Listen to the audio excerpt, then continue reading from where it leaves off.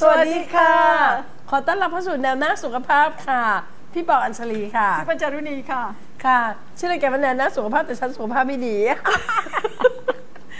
เฉพาะช่วงนี้อะไม่ไหวอะเฉพาะช่วงนี้มันยังไม่หายอะนะคะเนี่ยจนฝุ่นนำนำฝุ่นพาค่ะโอ้โห ฝ่าฟันมากเลยอะค่ะ แล้วพี่พี่รู้ไหมว่ามันเข้ามาในแอร์ด้วยนะอืมฝุ่นเนี่ยเหรอคะ หนูเดาโอ้เอานะ ว่ามันจะต้องมีในแบบเวถึงลาเราทำนให้อนเราเรามีเปิดอาการ เออใช่ไหมเราคะเปิดห้องแอร์เนี่ยเปิดแอร์นอนเนี่ยพี่แบบ เราพยายามจะปิดทุกอย่างหมดเลยนะพี่ตอนนี้จริงขั้นนั้นขนาดว่าเออถ้าสักพักหนึ่งฉันไม่ดีขึ้น ฉันจะต้องเอาสกอตเทปไปปิดซีลรอบหน้าต่าง มันรอดเข้าใช่มาใช่มันแบบไม่ไหวแล้วอะเออ สมัยคือหหายน้าใจหน้าไม่อนี่อกอาจจะอาจจะต้องปิดบ้านขนาดนี้นะคะหายใจไม่ออกกันฝุ่นบ้านกันฝุ่นอืมอืมมันหายใจไม่ออกแล้ว ตอนนี้คือแบบว่าเริ่มแบบว่าหายใจแล้วไม่อิ่มอะอืมหายใจไม่อิ่ม แต่ว่าก็ขอให้ทุกท่านน่ะมีสุขภาพที่แข็งแรงนะคะ แล้วก็ติดตามดูแนวหน้าออนไลน์ของเราใน YouTube ค่ะซึ่งก็มีทั้งข่าวสดสดๆไลฟ์ทุกวันนะ เรามีทั้งเอ่อไลฟ์ตอน 16ในการถึง 18ค่ะแล้วมีแนวหน้าสุขภาพ มีแนวหน้าตกปลาแคมปิ้ง ท่องเที่ยวค่ะนะคะ แล้วก็มีแนวหน้าทอล์กโอ้โหอันนี้แบบคือคึกคักของเรามาก พระมาหรือยังคะแนวหน้าพ ระเคพระรื่องอะยังนะคะยังใช่ไหมคะแต่เดี๋ยวกำลังจะมีมาคอยคราวนี้ได้ยินแว่วๆอยู่ พระจริง ๆ เลยมาสาธุวันนี้แนวหน้าสุขวันนี้แนวหน้าสุขภาพของเราของว่าด้วยเรื่องของกระดูกค่ะนะคะวันด้วยเรื่องกระดูโอ้ยกจำเป็นนะคะการดูแลกระดูกอือหือค่ะคือโดยเฉพาะยิ่งถ้าคนที่แบบว่าคือเอ่อฮอร์โมนหมดเร็วท่านผู้ชมหลายท่านเนี่ยอาจจะเคยเจอประสบการณ์ของของคนบางคนที่ ถ้าเราเห็นบางคนเนี่ยแบบหลังงอเร็วค่ะใช่ไหมคะ หรือว่า เอ่อเจ็บเวลามันกระเจ็บกระดูกนะพี่มันเจ็บข้างหนึ่งข้างในเลยนะ เราไม่รู้ว่าเจ็บตรงไหนอะแต่มันทรมานมาก ตัวเตี้ยลงใช่อะอย่างนี้ก็มีเขาเรียกกระดูกยุบตัวลงอ่าช้าๆนะคะใช่ตรงซุดแต่เรียกว่าซุดใช่อย่างนี้นะคะค่ะเรื่องกระดูกเนี่ยถ้ามันเกิดปัญหาภาวะกระดูกพรุนเนี่ยมันจะทรมานมาก เพราะฝ่ายที่เราจะรู้ว่ากระดูกพรุนตอนไหนรู้ไหมตอนที่กระดูกเราหักใช่ใช่ใช่ใช่ตอนที่ก่อนหน้านั้นเราหักไม่มีอาการเราคือมันอาจค่ะจะมีนะพี่มันมีค่ะเจ็บ อาจจะมีเจ็บแต่อย่างไรก็ตามเมื่อเมื่อคุณกระดูกหักคุณจะรู้ทันทีว่า กระดูกคุณไม่แข็งแรงละมันปรุนละ มันมีรู มันมีความโปร่งของมัน มันจึงไม่แข็งแรงมันจึงหักง่ายออกล้มนิดเดียวหักใช่เนี่ยคนค่ะที่กระดูกหักค่ะง่ายๆเนี่ยกระดูกพรุนเนี่ย อันเนี้ยต้องรีบรักษาคือค่ะคือไปไปถึงตรงตรงหักแล้วเนี่ยเราต้องรีบรักษา เราจะรู้ละเราเป็นกระดูกพรุน ก็ต้องรักษาทางการแพทย์ไป แต่กว่าจะถึงตรงจุดนั้น เรามาดูแลอยากให้กระดูกของเราไปถึงตรงจุดนั้นจะดีกว่าค่ะ อันนี้ดีกว่าเลย อันนี้คือจริงๆ คนไม่ค่อยได้พูดถึงแต่เราอะใช่รีบบอกซะก่อนที่เราจะอายุมากๆ จนฮอร์โมนหมดเนี่ยใช่นะคะใช่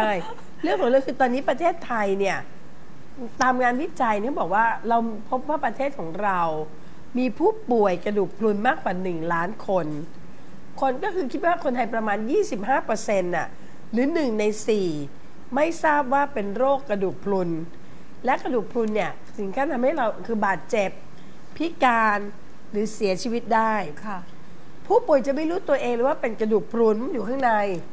ค่ะก็เพราะเริ่มัมแรกเออมันอาจจะมีอาการเจ็บป่วยเราก็เรียกว่ากล้ามเนื้อ นึกว่าเรื่องเล็กๆจนกระทั่งอยๆกระดูกหัก เราจึงได้รู้ว่ากระดูกพรุนแล้ว สาเหตุจากการที่กระดูกพรุนก็คือว่ากระดูกของเราเนี่ยมันสูญเสียมวลกระดูกไปค่ะ มันทำให้กระดูกเนี่ยสูญเสียคุณสมบัติการรับน้ำหนักของร่างกายเรา อืมก็หักง่ายนค กระดูกก็เปราะปลอกหักง่าย หักง่าย และบางคนในยตัวเนี่ยเตี้ยลงเตี้ยลง ถ้าเตี้ยลงมากกว่า 3 เซนปุ๊บ กระดูกคุณมีปัญหาแน่นอน ค่ะ เนื่องจากกระดูกสันหลังนั้นโปร่ง และยุบตัวลงอย่างช้าๆ บางคนเนี่ยยกของเนี่ยไม่หนักมากก็เจ็บ หนักมากก็เจ็บ อันเนี้ยมีปัญหาละก็สังเกตตัวเองนะคะ ไม่ใช่กล้ามเนื้อละเออค่ะมันเป็นค่ะ กระดูกละ ผู้ป่วยกระดูกพรุนเนี่ยมีโอกาสเกิดกระดูกหักได้ง่ายกว่าคนทั่วไป แค่เพียงกระแทกเบาค่ะๆหรือเอี้ยวตัวไอเคยได้จายินมเหมือนกันนะคนลื่นล้มค่ะสะโพกกระดูกสันหลังหักง่ายโอ้เคยได้ยินไหมว่าพี่แบบว่าผ้าผ้าผ้ามันพันเริ่อะมผ้าเลยอะคือผ้าห่มมันพันตัวค่ะแล้วแกะออกไม่ได้แล้วหล่นเตียงมาหักหัก แค่หล่นเตียงอะคุณผู้ชมเอคะอดูดิหรือบางคนเอี้ยวตัวแล้วผิดท่าไปหยิหับกของข้างหลังรถเลยหัอะ กอืมหักบางคนแขไอน ไอจนกระทั่งกระดูกหักอะก็มี พี่เคยเจอคนคนท่านหนึ่งค่ะ เป็นผู้ใหญ่ที่เคารพค่ะ เอาแฟ้มเก็บ แล้วแบบต้องเขย่งจริงเออ แล้วของก็หนักเนี้ยค่ะ แขนหักเออเออเออคือเมื่อไหร่ก็ตามมันเกิดภาวะหักง่ายอะ ค่ะ ใครรู้ว่ากระดูกพรุกระดูกพรุนนค่ะๆก็คือว่าคือภาวะกระดูกพรุนคือ เราสูญเสียมวลกระดูกไป ที่เขาบอกว่าถ้าเราอ่าเมนโพสแล้วเนี่ย เราต้องตรวจมวลกระดูกอืมทุกปีค่ะ ว่าเป็นอย่างไรบ้าง ว่ากระดูกค่ะเราเป็นยังไงบ้าง แต่ดีที่สุดเลยเนี่ยการการออกกำลังกายโดยที่ให้ออกซิเจนเข้าสู่ร่างกายมากๆอะออกซิเจนเนี่ยมันจะไปช่วยเรื่องกระดูกมาก ค่ะ อันนี้ดีที่สุดดีที่สุดพี่ค่ะ เพราะนี่เป็นเมนโพสเร็วอืมเอ่อตอนนี้นตอนนี้นก็คุณหมอก็บอกว่า เนี่ยพี่ พี่จะกระดูกพรุนนะ พี่จะกระดูกแบบว่าไม่ดีเร็วนะ เพราะว่าเออมันคือมันเป็นภาวะของคนที่มันเร็วเกินไป เพราะฉะนั้นต่อจากนี้เป็นต้นไปเมื่อพี่รู้เลยว่าเร็วเกินไปเนี่ย พี่จงออกกำลังกายสม่ำเสมออโดยออกอะไรก็ได้ที่มันให้ออกซิเจนเข้ามาช่วย แล้วตัวเองหวาดเสียวเพราะไม่ได้ทำเท่าคุณปอเลยเออต้องหลังจากนั้นก็มาก็ให้ทอืมำทำไปโดยค่ะตลอดเลยเพราะว่ากลัวเรื่องกระดูกอ่า ทีนี้ถ้าเราถึงตรงนั้นเราก็มีความช่วยเหลือเล็กๆน้อยๆของเรา เป็นความช่วยเหลือที่แบบว่ามาจากงานวิจัยแล้ว ชุดกระดูกเนี่ยนะ ชุดกระดูกเนี่ยเราเรารวมถึงข้อต่อด้วยจอยส์ค่ะคอลลาเจนแซบไหนจ๊ะคอลลาเจนแซบคอลลาเจนสีฟ้าแซ่คอลลาเจนแซบคอลลาเจนแซบนะคะอันนี้ค่ะอันนี้อ่าคอลลาเจนแซบคอลลาเจอันเนี้ยแซ่บเป็นค่ะเป็นอาหารเสริม บำรุงกระดูก มันเป็นคอลลาเจนนะคะ เป็นคอลลาเจนที่แบบบำรุงได้หมดเลยผิว ค่ะ ผมเล็บ จอยข้อต่อและกระดูก ในนี้บรรจุไปด้วยคอลลาเจน hydrolysate 500 มิลลิกรัมค่ะคอลลาเจน type 2 500 มิลลิกรัมค่ะคอลลาเจน hydrolysate เนี่ยทำมาจากปลาทะเลน้ำลึก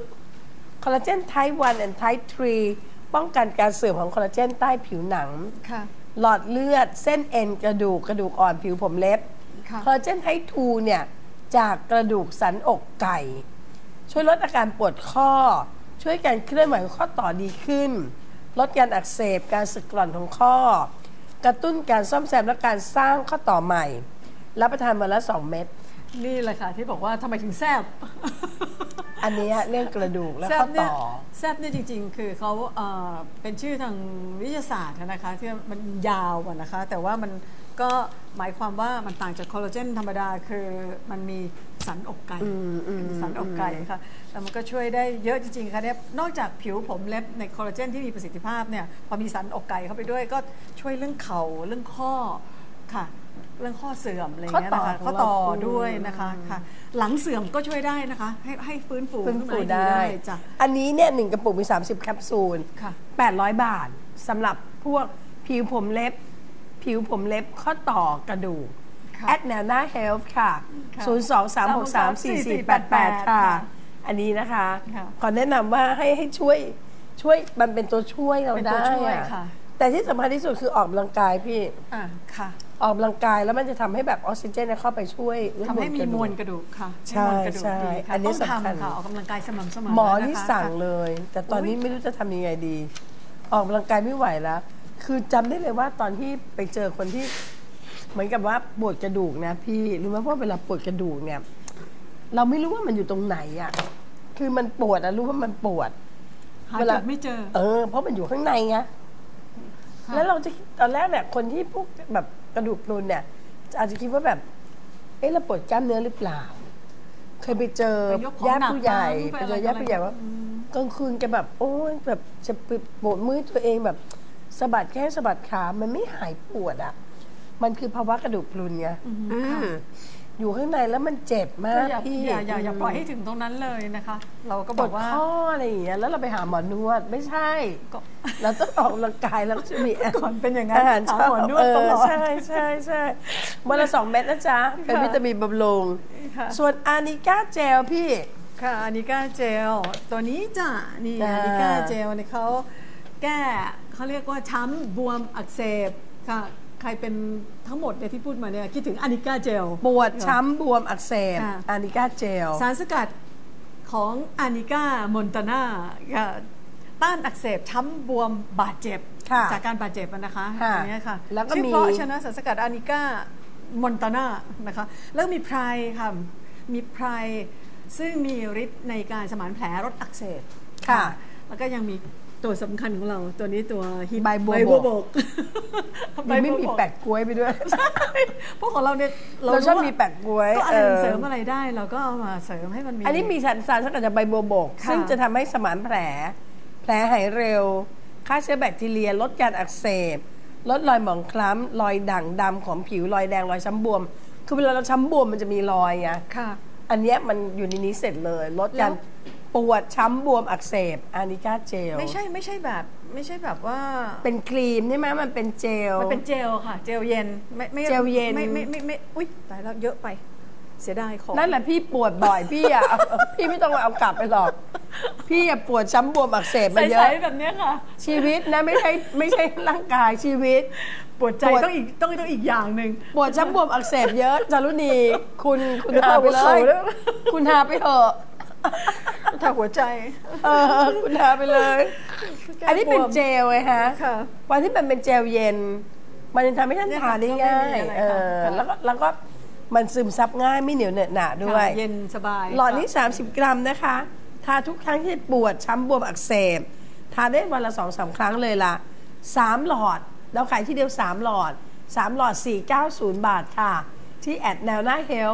023634488 นะคะค่ะอันนี้อานิก้าเจลซึ่งเป็นผลิตภัณฑ์ที่เราขายดีมากขายดีมากปวดช้ำบวมอักเสบค่ะนะแล้วอีกที่มันดีตรงไหนรู้ไหมตรงที่ นอกจากจะทาบริเวณที่ปวดช้ำบวมอักเสบแล้วลดแล้วเนี่ย มันยังช่วยทำให้ไอ้เวลาเราบวมอะพอมันยุบลงไปนะพี่ มันจะมีผิวมันจะเป็นรอย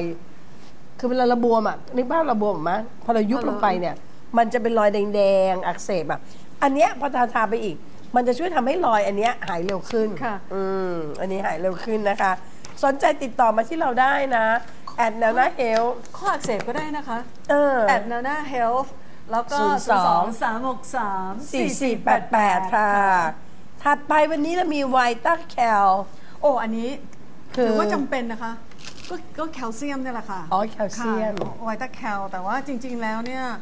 ไม่ใช่แคลเซียมเดียวค่ะๆ เป็นแคลเซียมที่แบบผสมแมกนีเซียม เหล็ก สังกะสี โบรอน ทองแดง amino acid chelate ผสมเยอะเลยวิตามิน และสารอาหารจำเป็นในการสร้างกระดูก 15 ชนิดใน1แคปซูลค่ะนี่ไงพวกเราไม่มีใครเป็นห่วงใส่อะไรให้เราเยอะมากขนาดนี้แล้ว